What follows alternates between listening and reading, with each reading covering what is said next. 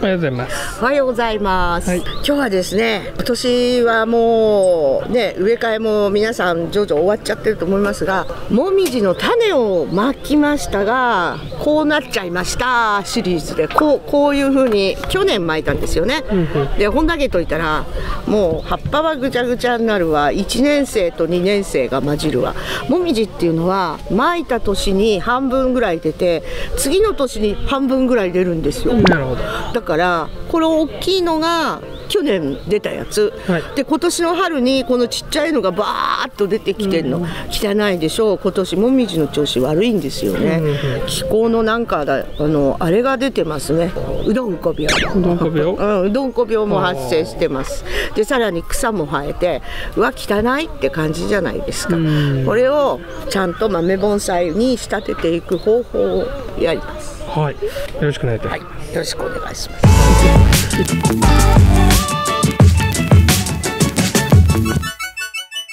でちなみにこれ種をまいてちょっと曲がってるじゃないですか。はい。だから網伏せ？網伏せです。をしたもの？網伏せをしましたが、途中で一回開けてまた伏せなかったんですね。忘れてね。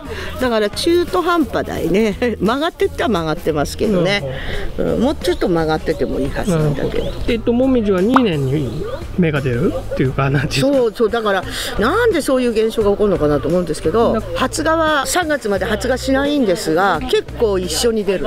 本当は秋にね取り巻きした方がいいの。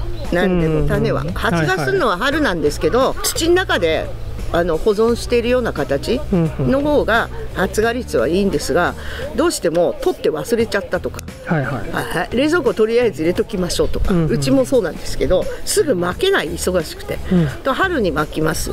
そうするとその年にすぐ発芽するのが大きくなって、でまばらに出たなーって思ってると次の年の春に出てくるのね。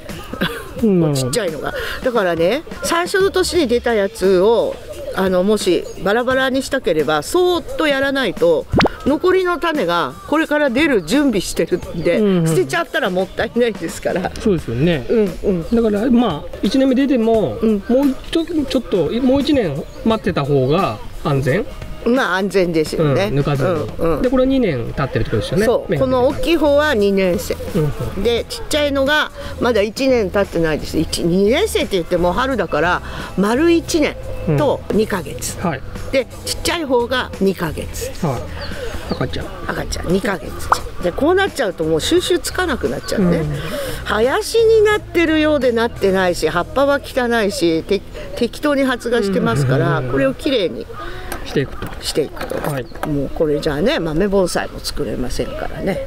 でまず何をやるかと言いますとこのちっちゃい1年生のこの子供を抜きます、はい。あこれまだねこれまだね出たばっかなんで根張ってないんでねこうやってゆすりながらほらほらほら。こうやって抜いちゃうの。でこう水にね入れます、はい。もし心配ならここほじくってもいいですよ、うんそーっと上に引っ張ると抜けます。枯れてんのもあるね。よいしょよいしょよいしょ。ほら。ぴょって。だんだんだんだん。そんなに気にしなくても簡単に抜けますよ。ゆすってゆすってよいよいよいよいって感じ。だから1年生はほら網伏せしてないからまっすぐなんだよねほとんどが。簡単に。曲がってんだっけね結構思い切っていいきますね。うん大丈夫大丈夫。ヒュッてヒュッて取れますから。でこう切れても全然関係ない。大大体。大体1年生抜きました、はい。あと残ってんのね中の方、うん、こんなあここに1本あったね、これとこれがあれかな、うん。そうしましたらこっちのはまず置いといてこれを切ります。これこの伸びてるからね。ほら。うんうん。ここに曲があるのにほっといたもんだからここまで伸びちゃってるじゃないですか、そうすると曲を生かすためにここのとこに節があると。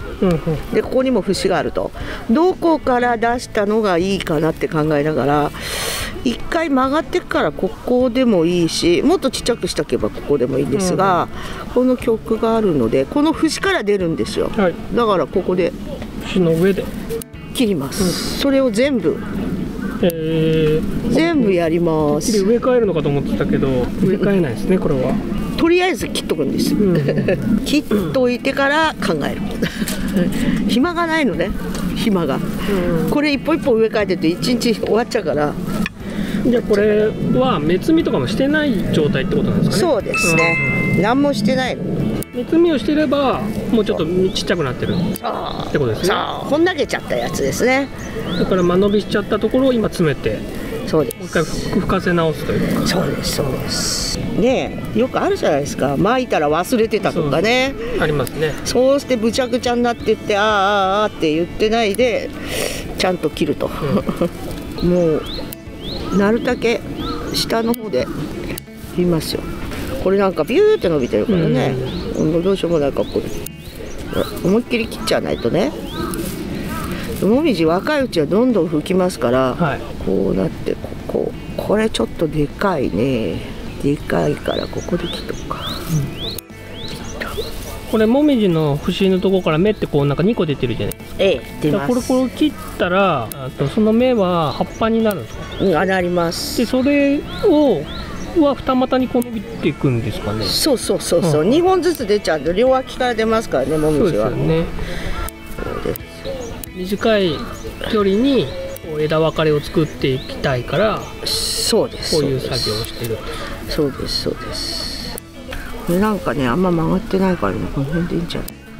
あんま深く考えないで切ってます、どっから吹くかっていうのがあってここからって言っても違うとこから吹いたりしますのでねこれは自然の力なんで。で今切ったところが幹になるって感じ。そうここが幹ですね。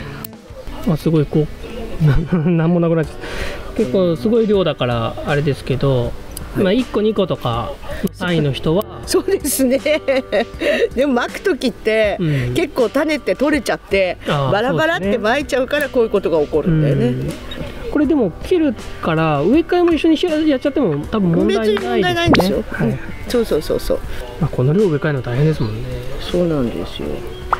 はい、これでこれでここちょっと長いけどな、たまには大きいのがあってもいいでしょう。何もなくなりました。ははい、はい。い、これが1週間前にやったやつがこうです。1週間前。そうですね。1週間ぐらい前にね、1本前もう芽がええ。出てます。はいはいはいはい。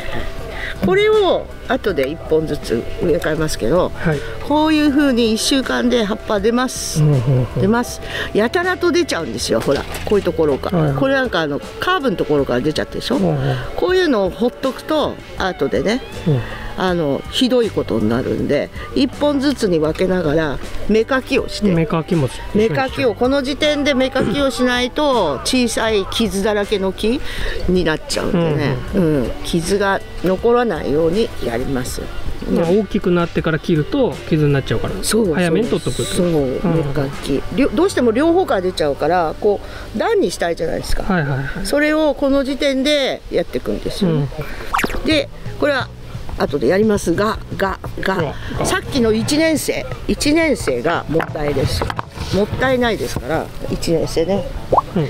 水につけてありますね。こういう状態です。いっぱいあります。葉っぱ汚いですねこういうのね。これをどうするかっていうとこのまんまだと曲がってもいないしまあ寄せ植えに使うしかないかなみたいな感じなんですけどただこう植えたんでは面白くないのでうちではねよくやるんです。まず葉っぱ汚いんで葉っぱ剥がり。はい。ここは剥がりです。それであんま長い根っこは後で切るんですけどこれ剥がりね。大中小あるから束ねていきます。はいうちょっともうちょっとやる。これでいいかな。ほらここここ根っこのとこちょうど高さ同じになるようにねはいこうにしといてそれでこれをラフィアで結びます。ラフィアは知ってるかな皆さん。知ってるよね。うん。真柏とかね曲げるときによく使いますよね、ラフィアのすぐ溶けちゃうんでね。水かけるとね。アルミ線でこれやっちゃダメです。アルミ線でやると食い込むだけで大変なことが起こります。これ太りますからこれ絞りました、そしたら余計なとこ切りますね。でここで根っこを切ります。はい。結構切りましたね、うんうんうん、これくらいあれば大丈夫ですよ、でこれを大きいのを小さいのってこうねこういう感じで植えておくんですよね、うん。ちっちゃいのに植えようか。これはあの網引かなくても大丈夫な肩ポットっていうやつです。はい。うちで販売してます。はい。ちっちゃいのね。で苗木を作る時には欠かせない。マグマグちょこっと入れて、はい、でこの場合ねもうね下から止めなくても大丈夫。まあ心配な人は止めてください。もう赤玉土を入れまして。もうラファイアが見えるか見えないかぐらいに植えるんですよ。ねでちょっと細かいので押さえて。であと水を。はい。水ビューってやってこういう状態にしときます。そうすると葉刈りをしてあるのであの新しい葉っぱが出る時この枝がねパラパラって落ちます。で1週間前にさっきのやったやつをやったんですがまだ早いけどだいぶ出てきた。ほらここああ芽が出てますね。芽が出てるでしょ。うん。もうあと1週間で綺麗にこれはんなんでよ寄せるというかあのね出来上がった時にねくっついちゃうのね。1年生のうちにもう縛っちゃうと、バラバラにならなくなってくっつ癒着しちゃうの。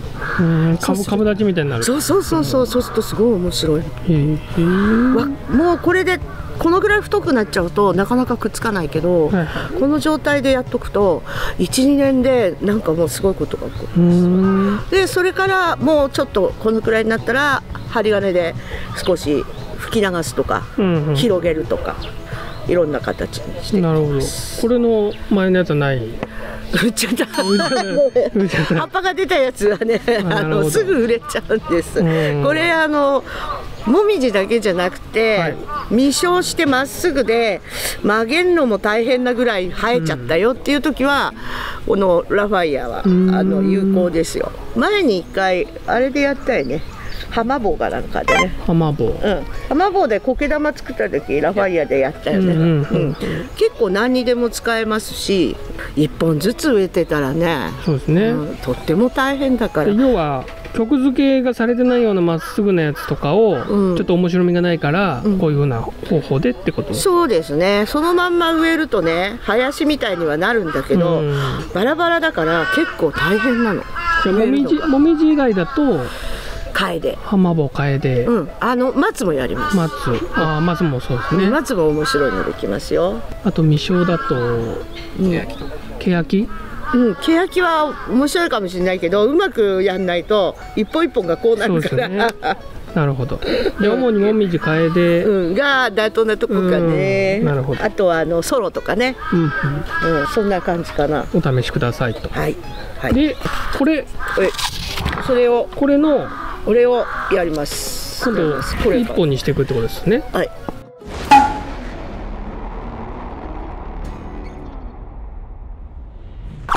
でこれね。どれがいいかなって、うん。本当はバラすんだけどね。これがいい木だよね。これがいい木だよね、これでしょうか端っこだしね、これはもうこうやって引っ張るだけ。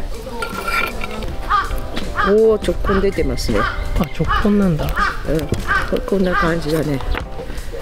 洗います、はい。ね。あー。この場合ね根っここれが直根ですよ、うん。ね。まあ、最初はここを切っちゃって。これ以上下に行かないようにしてね、でも粘り的にはこれが2本出てるから、ううんと実このぐらいで切ってもいいんだけどまだ若いからねこんなもんでしょ。はい。で問題はこの2本ここに2本出てるじゃないですか。両方出ちゃうといけないんですよね。片っぽにしなくちゃいけない。はい。でこの場合多分こっちが前になると思うんですよ。こっちが。うん。これが、これが頭になると思うのね、はい。そうすると内側のこれがいらない。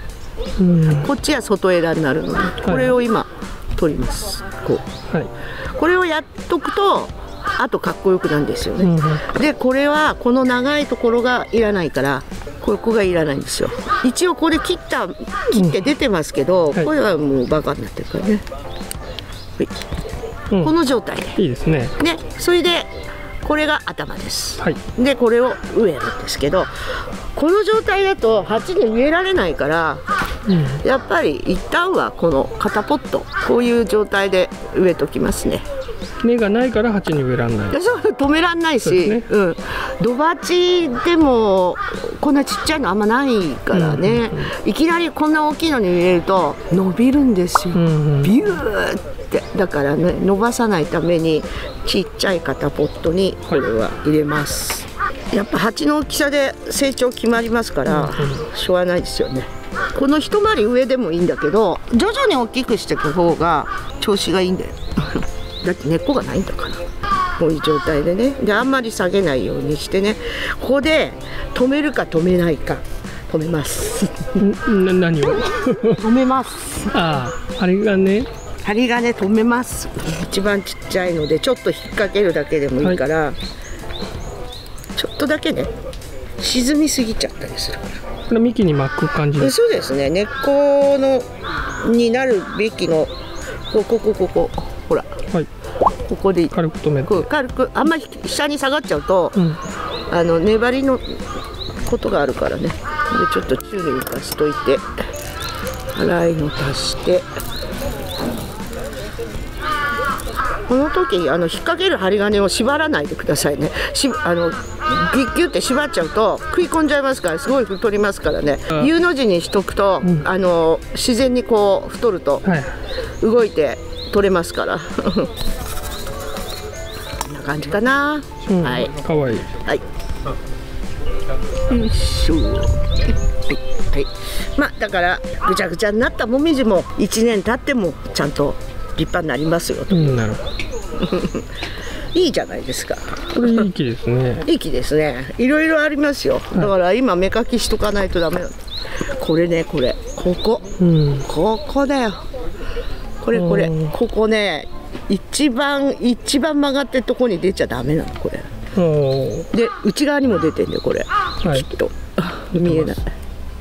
内側に出てるやつは全部ダメです。こういうのもそうです、曲線の内側。うん、そうですそうです、だからこの時点でどんどんどんどん取ってっちゃわないと、うん。内側に出てるのなんだあと曲がってるこういう曲がりのところのここからこう出るとかね、がもうどんどん取っていかないといけないここの段にあとここから上いらないでしょ。なるほど。そういうの考えてもういらない一回切ったやつでももう一回、まああの切り戻しますねうちはね。これは時期的にはいつからいつまでこんだけ切っても大丈夫ですかっていう。今。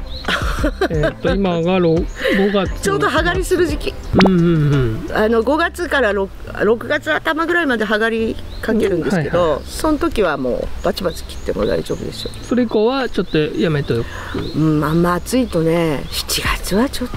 うんそうですね。6月ぐらいまでにして、うんうんうん。だってこのとこ異常に暑いから。そうですね、うん。あんま遅いと要は次の芽が出る力がなくなったりとか。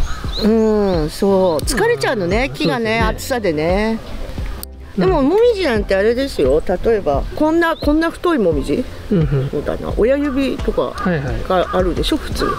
ここここブーって切っても出ますよ、ああ。平気です。